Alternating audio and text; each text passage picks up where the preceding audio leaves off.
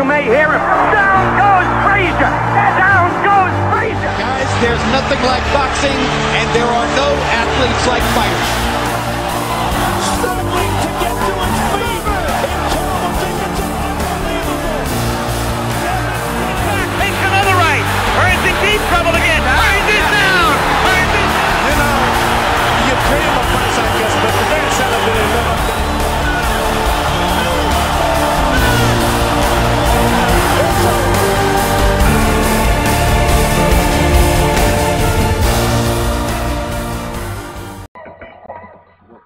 Jay Carlos Fight Page. And um, I just gotta say, man, I am so happy with yesterday's fucking pay-per-view. Now I'm gonna tell you, as a fight fan, I fell asleep very, very satisfied. You know, um, it just gets to the point that from undercard to main event, I was satisfied. You know, you know.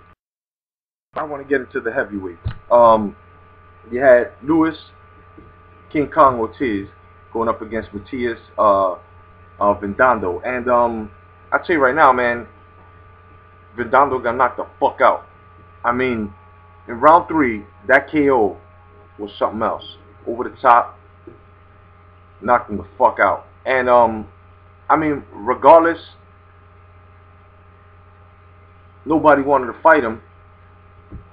I have to I have to give Vidondo his credit, like everyone else was giving him yesterday. He took the fight against that big son of a bitch. Man, uh, he be in his fucking chest, man. I- Man, listen, what the fuck, bro? I liked it though. I liked it, but the dude is fucking crazy, and that's a new heavyweight that motherfuckers got to be careful with. Now we, I mean, we just can't say be careful as to him being that good, but he's got so far he showed us he's got punching power and he's got a great entrance for a heavyweight man. You know what I'm saying? He can deliver them shots. You know, um, he's the new, you know, WBA um interim heavyweight champ, and I have to say congrats. You know, um, I, I I would like to see him. I definitely would like to see him uh, going up against a couple of heavyweights within the division. Then, you know, we had uh O'Kane versus Johnson, and um, you know, there were two rounds that to me were, you know, I, I, I, I had scored even, you know, which was round six and round ten in that fight. I mean, I'm sorry, round six and round eight in that fight. But I have to say, man, uh, from round one, Johnson outboxed O'Kane, you know, with right hooks. Okay, the second, uh, it was two knockdowns in the first. You know, um, O'Kane. Then in the second round, uh, he caught a he caught a, a cut over the right eye. Um, and I have to say, man, that that fight was close quarters, phone booth style, no complaints. Okay, wasn't sloppy at fucking all. So you guys that that were into that whole bullshit, trying to prove a point, the fighting like that and stuff, you can also be evasive in that fashion. But anyway, um, you know, coming into this fight, they both had a amateur record of uh, 300 fights. Okay, and uh, Johnson, okay, has uh, set a record that stands up there with Hagler and Hopkins um, for most power shots in a fight. Okay, that's something to, to look into. Motherfuckers are setting records, and they setting records the right way. I'm fucking happy with yesterday's fight card, and this this is yesterday's pay per view. This is only undercards now. Exciting. It was fucking exciting. It was fucking exciting, guys. Now, when we get into the co-main event, which was, uh, you know, Chocolito or Chocolatito Gonzalez going up against uh, Brian uh, Viloria, I have to say, man, uh, round two was questionable to me. I think round two, that's when that's when Gonzalez started stepping up. Okay, um, I have to give it to Brian Viloria. Uh, Viloria, he showed heart. Uh, he had a lot of stamina, and he pushed Gonzalez. Um, but after the after the fourth, he looked he looked confused. He looked very confused, as well as uh, after the seventh, he looked tanked out. You know, um, you know, they also gave Lee Wiley Okay, uh, Lee Wiley from the YTBC got a shout out from Jim Lampley. That's huge. If I were you, I would, I would fucking most definitely capitalize on that, Lee. But uh, anyway, um, you know, Chocolatito silenced his critics. Okay, going to a 44, uh, 44 0 record with 38 knockouts, and um, in that fight he set so many traps. I mean, the, the the kid is just amazing to watch. You know what I mean? That's from the Arguello claw. Okay, that's most of you guys, you new guys, you guys that are criticizing, you know, you guys that don't really like him either. Um, there's even guys out there that, that, that have a lot of knowledge of the sport and don't like him and don't agree he's pound for pound. Well, I hope that he's silenced because to me, I feel he silenced his critics yesterday. And he silenced his critics in a big way. Okay? You know, uh, Brian, the Hawaiian Punch Viloria is no joke. And look what he did to him.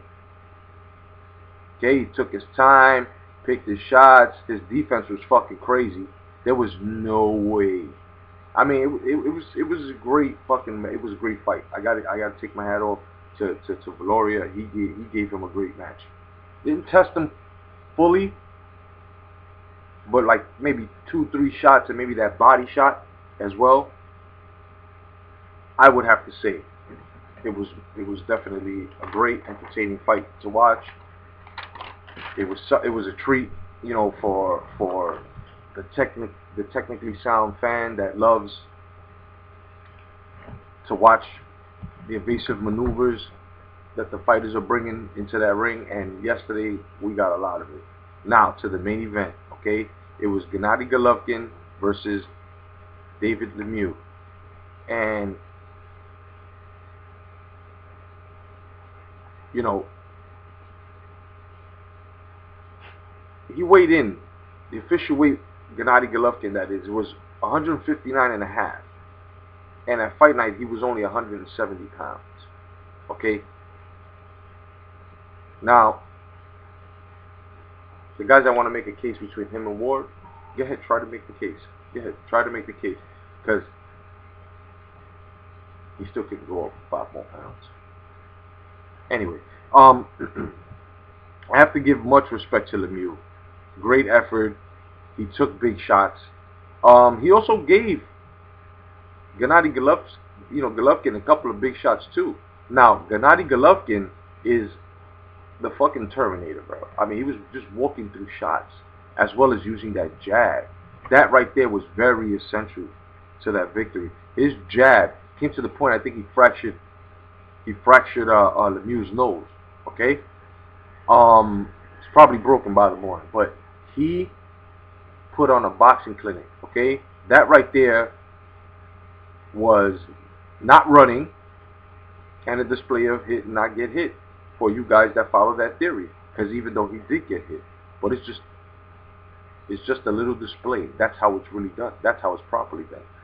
That jab was setting was was setting him was helping him set up so many shots against Lemieux. It was just amazing watching that. You know, um, I also got to say in this fight that there was a lot of skill, speed, no clinching, just punching. Okay. In this fight, there was there there was nothing but action. And I'm sorry, but I, in a long time, I have not seen a fight card. Okay, especially this year. This has had, is, man, so far, this has had to been the best fucking fight card yet. You know what I'm saying? This pay-per-view was great. I'm more than sure, because people that, that follow the prize fighter from Vegas, they're, they're basically hoping that this shit don't go more than 300,000, 350,000. I'm more than sure it has done more. You know what I mean? And if they have, congratulations to Golden Boy and Top Rank and everyone else who was involved with that fight, uh, that pay-per-view yesterday. The fight card was great. That was a great fucking fight card, man. Um, as well, yesterday's event in Madison Square Garden history sold more tickets in 10 days than any prize fight that has been held in Madison Square Garden. And yesterday was Gennady Golovkin's fourth appearance at Madison Square Garden. Now, greats fight at Madison Square Garden. That's where it should go. Now, the fight was stopped, eighth round TKO, and uh, you know, Lemieux got hurt uh, in the fourth. That's when he started, you know, actually he hurt Gennady in the fourth, but Gennady just walked through that shit. I have to tell you, man, um, he's setting records. It's 21 and 0 now, knockout streak. That means he's gone through all these, and he unified. He unified, which is what people should be trying to do. Competitiveness within the sport. Let's remember that, guys. You know, I have to say, man, this year the closeout is great.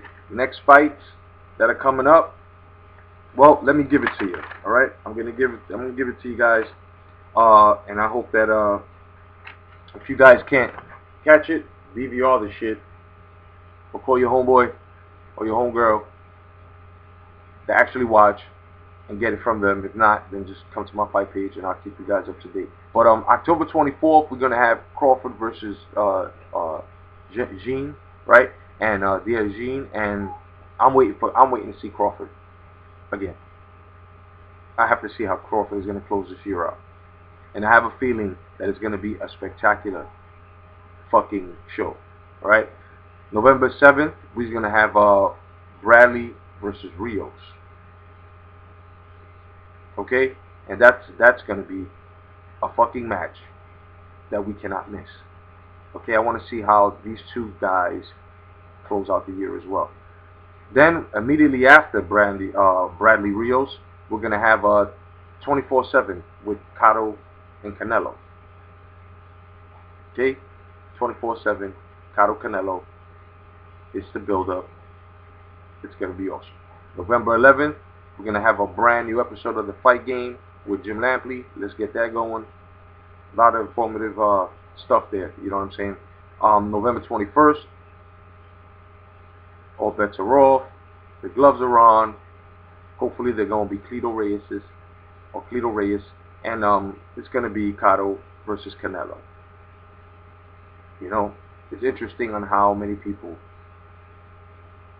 are not divided, because we all have great sportsmanship, but it's just the division on how many people are going for Cotto and how many people are going for Canelo, and the and and and the shit that when you look at that list of boxers and managers and trainers, it, it, it's crazy on who you thought would go for who didn't. It's it's fucking crazy. Then November 20th we'll have Klitschko versus Fury. I can't wait. I'll tell you right now, I slept well. I went to sleep happy as a boxing fan. Finally, I was satisfied. The appetite was full. I'll be hungry for next Saturday. Terence Crawford versus Jean or Jean. I'm ready for that fight, fans. Like I said, boxing has come back very slowly, but it was great. This this has got to be one of the best fucking pay-per-views in a long time. In a long time. And don't be biased. Okay? Guys out there, do not be biased. Stop it. You guys enjoyed it. It's probably in your living room, cheering, spilling shit over. You know what I'm saying? You know that they bought us great boxing yesterday. It was fucking great. And I think that I'm going to see these fights again. Thanks for joining my fight page. I'm Cotto. And uh, God bless. Got Monday. Let's work towards another fight weekend. Peace, guys.